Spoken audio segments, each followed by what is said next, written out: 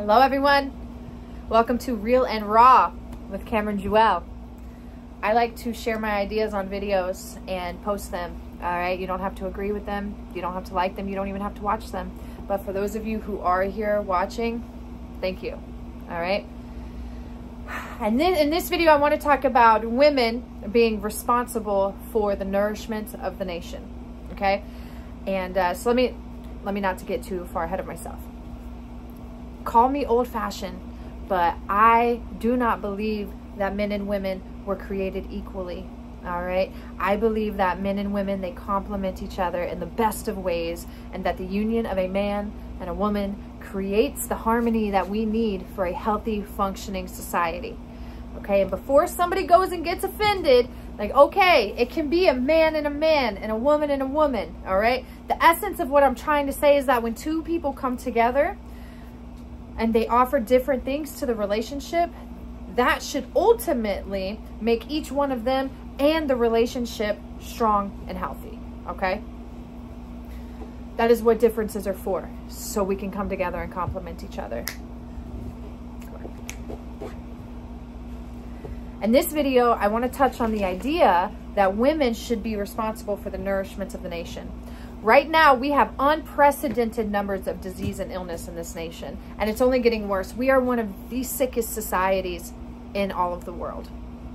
Okay, and there is a direct correlation of women entering the workforce, our food coming to us in boxes, and the decline of health in this country. Come here. Lay down. I'm only proposing an idea, okay?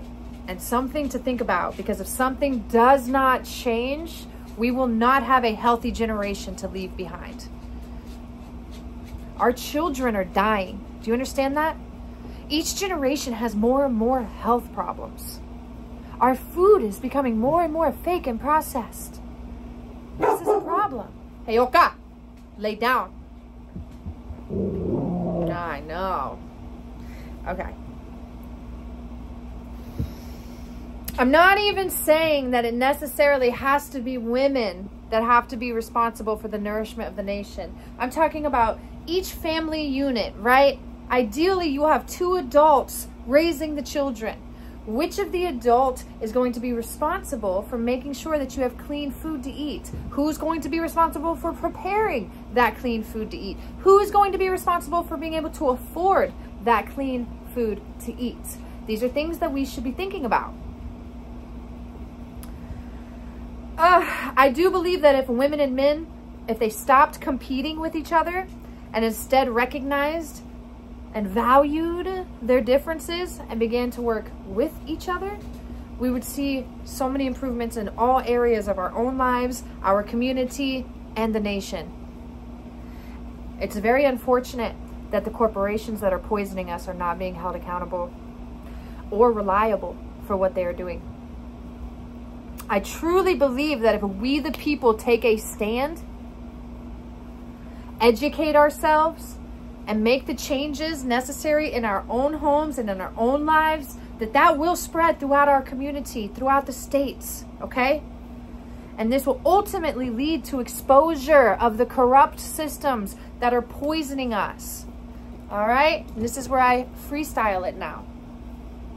If you look around every day, I hear more and more about people who are sick, these chronic illnesses, these medications, these surgeries, these cycles that people get stuck in and they're not getting any better.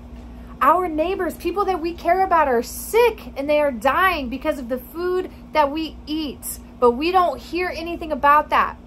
Donald Trump supposedly gets shot in the ear and the internet blows up. But you try and share something about the food that we feed our children and it doesn't get pushed out. This is a problem. All right?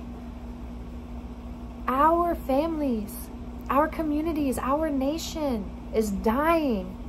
The food that we eat, the air that we breathe, the furniture that we sit on, the clothes that we wear, almost everything in the grocery store is loaded with chemicals that dull your mind, that make you sick, these chemicals that are not even allowed in other countries, are being sold to us Americans to eat, to consume, to put into our bodies. And you know why? Because when you are dull and distracted, you're easier to manipulate and to control.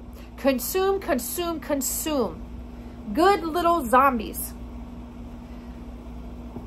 Who's going to stand up and take responsibility to help shift this? Because that's what we need. We need leaders. We need warriors to stand up and to be the difference that we need to see, to take charge and lead the way. Who's going to do it? That's what I'm asking. And that's why I'm calling to women to stand up and take responsibility for the nourishment of our nation. All right? And I know it's not as black and white as that. So I'm calling to families. One of you, both of you come together. Figure out how you're going to get the food, how you're going to prepare the food, who's going to get it, who's going to prepare it, who's going to educate themselves to make those changes for their family, and who's going to just keep turning a blind eye and poisoning yourselves and your children. Just something to think about.